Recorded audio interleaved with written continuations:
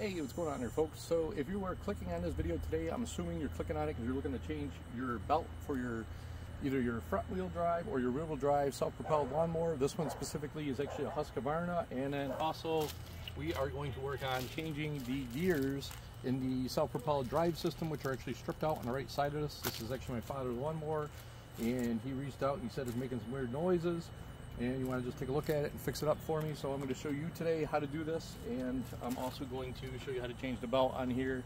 So we are going to go ahead and jump right into it. But first off, I want to say if you are new here, consider subscribing. You never know what I might have. My channel is called Life's Escapades. I have outdoor photography, maintenance tips, tricks, and car repairs. And obviously I'm working on a lawnmower today. So definitely consider subscribing and we'll get right into this. So first thing I'm going to do is just prop it up. I got mine propped up there with a jack stand, and if you were doing this on a Husqvarna, the first thing we're going to, or second thing we're going to want to do is to remove the blade, which is actually a, I believe it's a 14 millimeter socket, and this is an HU, I think it is a HU 700L model number, and we're going to go ahead and take the blade off.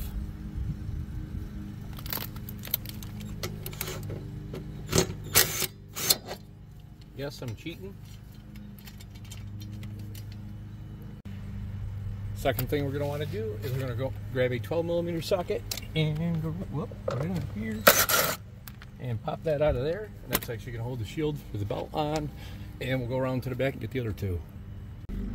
Now we're at the back at the other two. We're going to go ahead. These are 8 millimeters. And we're just going to go ahead and run them babies out of there.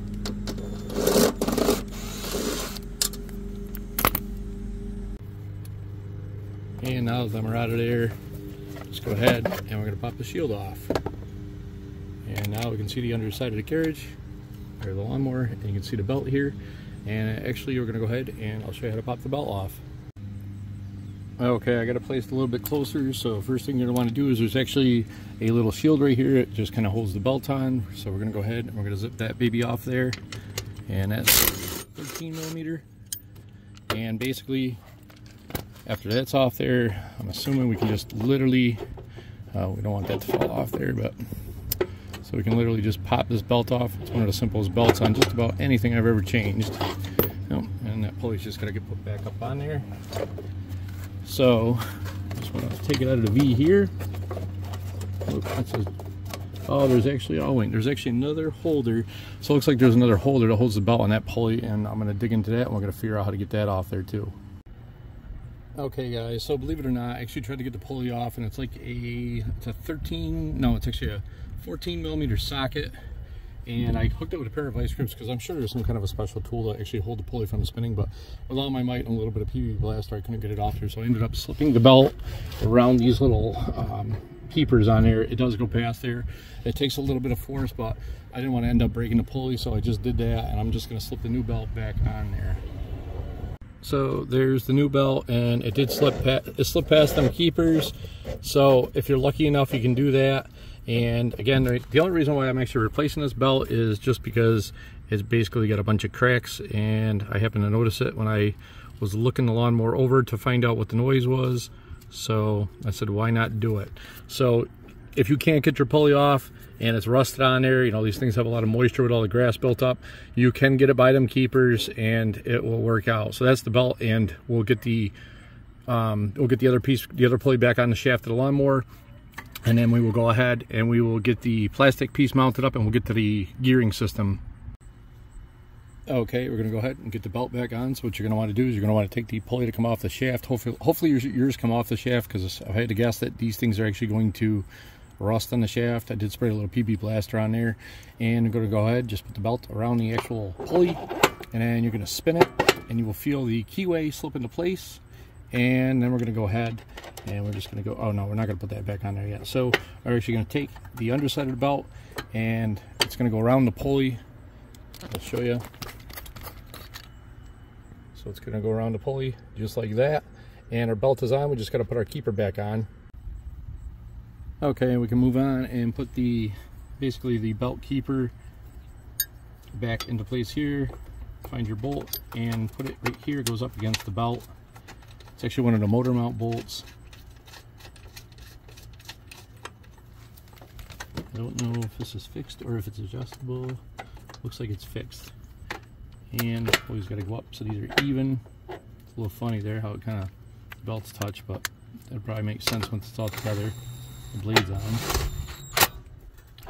And give it a little tip or tap there. I'll check it after. And it looks like we should be good to go. Okay, and I'm actually going to show you next, and I'm actually going to review it and look at the camera myself to see how this thing actually works. So I know there's a camera, or there's a cable right there, and just spraying a little PB blaster, trying to get some inside the cable. And I believe that cable just pulls that system backwards and it tightens the belt. So we'll see what happens.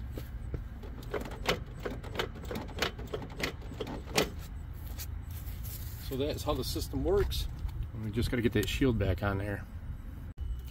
And again, we're going to go ahead and pop the shield on there. Obviously, it's going to be the 13 millimeter and the 2 eighths in the back. So reverse procedure.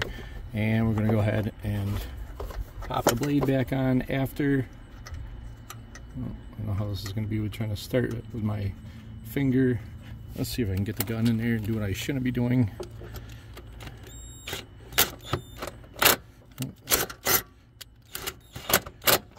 No, I got that started. And oh, looks like we should be good. And we'll get the eights on the back. And we'll go ahead and start these eights.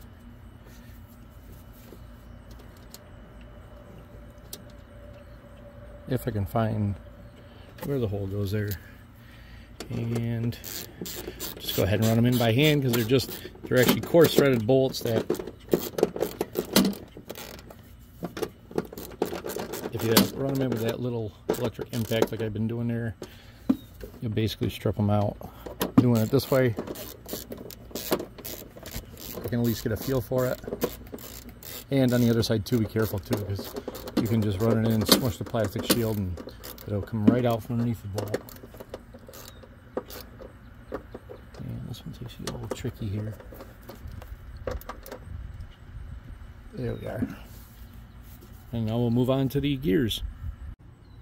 So I lied. I meant to say gears, or I meant to say get the blade on, and then we'll move on to the gears. So we'll move on to the gears. As soon as we get this star key lined up and this blade popped on, there is a star key. That's how it's going to line up there. Put some force on it, keep it up inside.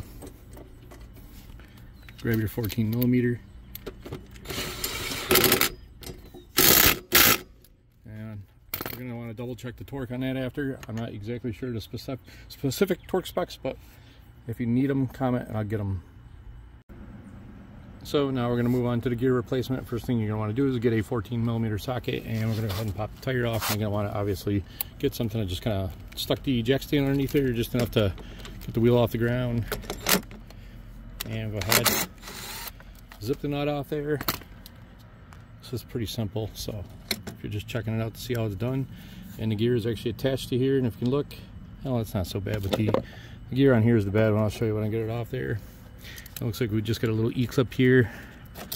So we just gotta slip that E-clip off there. Hopefully slip it off. Hopefully we can reuse it. One way or another. E-clip off gear slides off there's actually a little cotter pin in there so if you look at that you can see the gears are all chewed up and that was making noise and it was stripping. That's why the lawnmower was pulling to the right. And here's the new gear. Go ahead and get it out of the bag. I did go to a Husqvarna dealer and get all OEM parts. So I didn't get no cheap junk. It's not gonna last. There's the new gear. I'll put them together and compare them. The sun's back out. See how nice and sharp the new ones are, and the other ones are all worn. So just simple enough, put the new gear on there. I'll spray a little PB on there. A little, a little good luck next time if it ever has to come off again. And grab our E-clip, C-clip, whatever you want to call it and I don't know how I'm going to force that on there. I'm going to try this. Not all the way on, but there we go. That's that. Make sure the wheels are both the same. And grabbing the wheel. and just make sure they are the same. That is the right wheel. Oh, what a center shaft looks a little different here. Nope. I Guess we'll find out. Oh, maybe there's a sleeve on there. Let's see if that's going to go on there. Oh, it does go on there. Okay, so that sleeve is inside.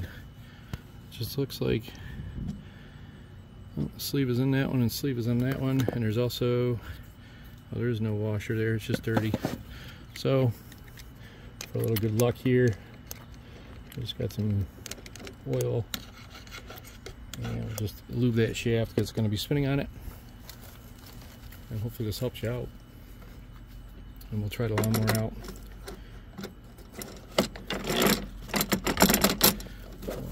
okay. yeah, it still doesn't sound so healthy there but just make sure the gears must be just the way it is and try it out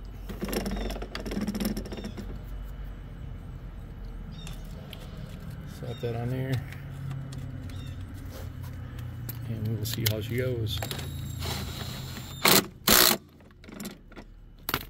Just going to check the other side, to see if that makes any noise. That one's known and good. And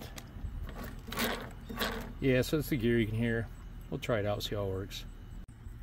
So very important before I move on, if you can hear me now spin this, it sounds a lot different a lot cleaner. It's not grinding. So the shaft that the wheel actually mounts on, I discovered it was bent. And what I basically did is I actually just took an extension and a socket and I put it on the shaft and I actually bent it back so that the gears were meshing properly now. So definitely keep that in mind. If this mower is like, if you bounce it up and down to get the grass out of the bottom of it, if you dropped it off your back of your vehicle, putting it in it or something, it can bend these shafts. Obviously, they're pretty fragile and it's probably what led to these stripping out. So this one's all set now. I'll just have to take care with it. And uh, I'll just make sure they spin and we'll go from there. I'll go ahead and fire this thing up and we'll see what we got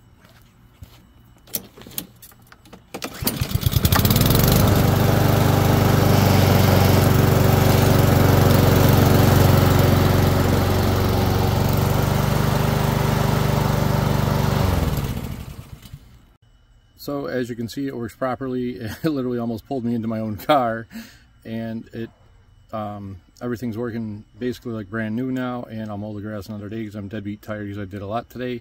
But the lawnmower is all fixed. If you have any questions or go ahead and comment and consider subscribing and thanks for watching.